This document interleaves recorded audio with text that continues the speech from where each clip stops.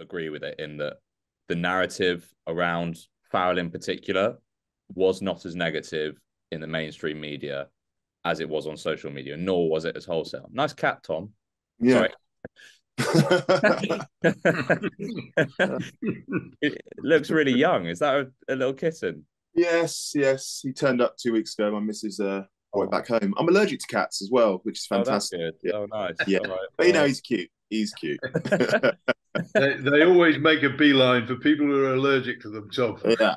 Yeah. well, if you start sneezing, um, I might, yeah. I, I, might mute you. So don't be. This podcast is about to get really interesting. Yeah, I know, I know. And then I saw a cat. I like, oh dear. I mean, to speak about mental health, get a cat. That will that will yeah, won't it? Um, help. anyway, sorry, I've completely lost where I am now. I've got distracted by the cat. Um, anyway, I yes, I agree with that. The mainstream media narrative hasn't been as extreme as that cat is so distracting. As extreme as wholesale and just as pointed as the social media reaction. But my the area which I I felt wasn't necessarily addressed was the domino effect the mainstream media can have. And if you take the example of the next big thing narrative, that generates a bunch of discourse, be it on comments um, on articles or on YouTube or on Instagram posts of social media, you know, of social media. It gets people thinking yeah. a certain way. And that's the domino effect I'm talking about is when the Rugby Paper podcast doesn't become the biggest podcast in the UK, then the narrative flips. And that's where the narrative in the mainstream media flips. But obviously, that has a knock on effect. And you say there's accountability. Of course, there is. Our names are there. But it's almost ine- inevitable and innate to mainstream media that it generates the direction of social media discussion. So, a negative na- narrative that shapes, well, shape it like a triangle, generates a whole cascade of negativity that can just spiral, and in this case has, in my opinion.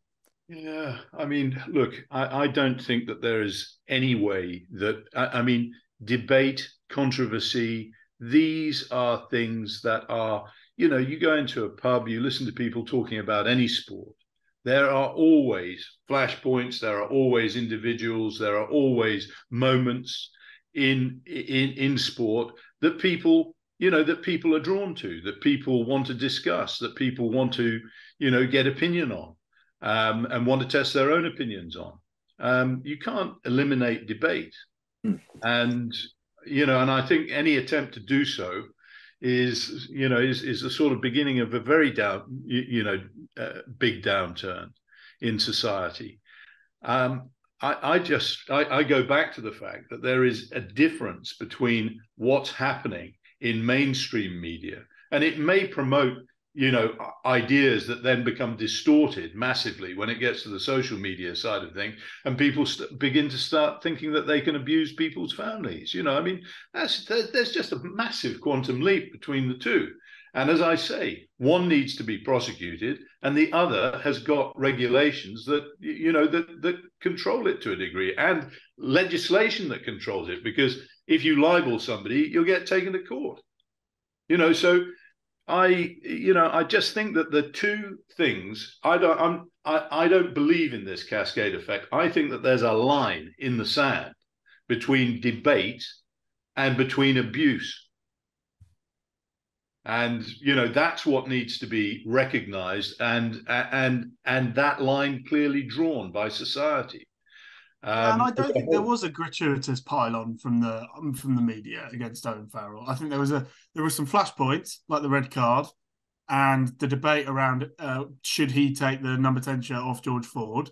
But that was again, uh, if you go through all the old content across, there, there's never a point where someone's just you know where, where someone's writing an editorial just taking the Mickey out of Owen Farrell for the sake of it. I don't think anyone ever got into that into that realm all of them were debates about specific issues, and there were uh, sort of moments of of of peace for Owen Farrell where he wasn't the main story. It wasn't always about him.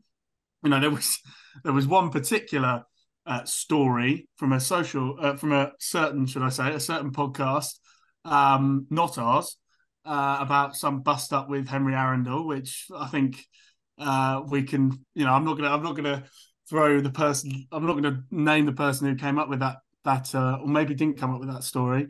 Um, for for don't want to slander them. But. Um, but yeah, so that was a bit weird, and obviously there was some some nasty stuff on social media, but I don't think there was in the written press. I would say that, but I don't think there was a gratuitous pile-on of abuse towards Owen Farrell. I think everyone. Go on, go on, go on.